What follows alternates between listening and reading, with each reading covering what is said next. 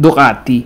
Sino ba namang nagmumotor ang hindi nakakilala sa pangalan na yan? Naggagandahang motor at mabibilis pa. Hindi sa motor nagsimula ang Ducati. Nagtayo si Antonio Ducati at ang kanyang tatlong anak ng kumpanya na gumagawa ng radio components. Condenser, vacuum tubes, then eventually nung naging successful sila, pag-collab sila sa isang kumpanya na gumagawa ng pushrod engine na kinakabit sa mga bike. Tinawag nila itong Kuchulo. Siyempre, nung naging mabenta, gumawa na sila ng sarili nila at ito ang Ducati 60. Kasama ang designer niya si Aldo Farinelli. Konting background lang yan at the rest is history. Nandito na ngayon ako sa Ducati Katipunan eh para test ride yung mga motor na yan. Hahaba pa yung video eh, excited na ako eh. Pero bago yan, tawagin muna natin itong segment na to na pahiram episode. Itong episode na to, ay itong segment na to, dito ko test ride yung mga mahihiram ko. Pero huwag kayong magalala. Iingatan ko at ibabalik ko rin.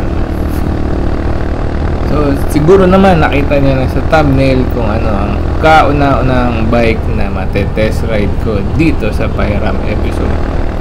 Papunta na ako ngayon doon uh, na-invite lang ako eh. Pero, babalik ko rin yan. Hindi ko naman drive ng kumoto yun dahil mapagbayad pa ako. Wala akong ganong pera. Nakaka-excite din. Sana may mga maulit pang test ride. Hindi lang sa isang brand ng motor. No to brand wars. Brand hate. Ducati Super Sport S Napaka-poging motor niyan. Hindi mo pa sinasakyan. Pogi ka na. 937cc L twin engine. At nagkakahalaga siya ng 999,000 pesos lang naman. So, yun. Nandito na ako. May ko na si kasama ko. Walang iba kundi si...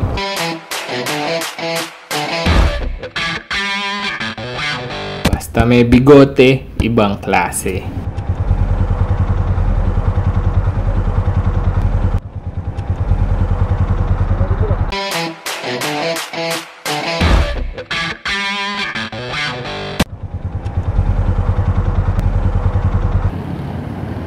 Okay, nag-sign lang ako ng waiver sa loob. Siyempre, di naman papadrive to sa'yo nang wala kang pinipirmahan. Baka takbo mo lang.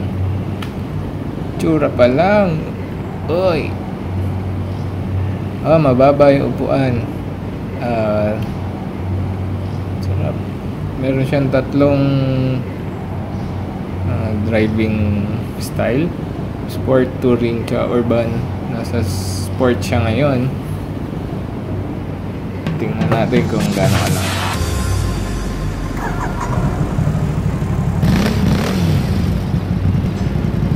Grabe to, ang pogi. Love at first ride. Hindi pa ako nakakalayo niya, no? Sana lang nagre-record ng maayos to, no? Kasi naglolo ko yung mic ko. Shut up, clock in and load up. Navy, go!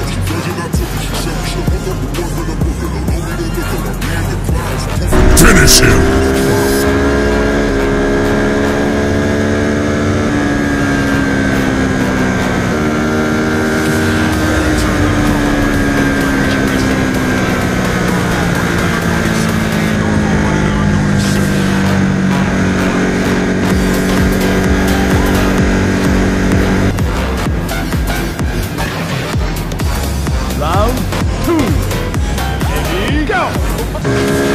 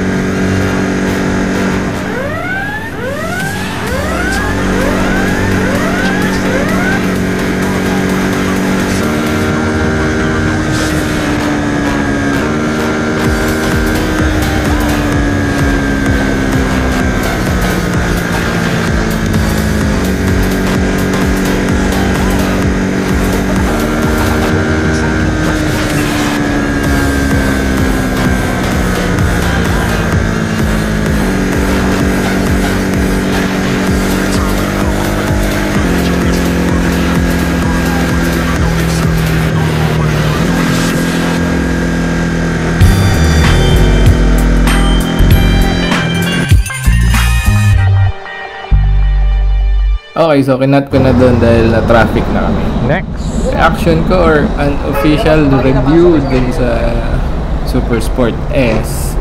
Eh, napakaganda. Napakasarap. Hmm? Hmm. Ang bilis na. Tapos hindi nakakabali ng liig. Para sitting position. Parang you're sitting in the motor, hindi on the motor. Di bagay sa'yo. Ang ayoko lang dun sa Super Sport, yung init. Diretso sa puwet mo yung init. Lalo na pag nakatigil kayo. Pero pag umaandar, okay lang yun. Well, yun ay aking unofficial review naman. Damn. Try pa natin yung iba. May sale nga din pala sila up to 70% off sa accessories tsaka apparels. Ah, helmets, jackets, t-shirts, keychain, sale sila. Sa ibang motor din may promo yata sila. So, Chito, nakabili na yan. Scrambler may promo.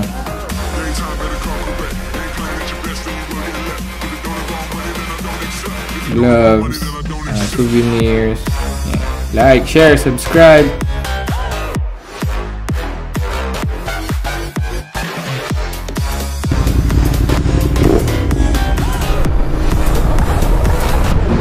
Ang liit mo dyan.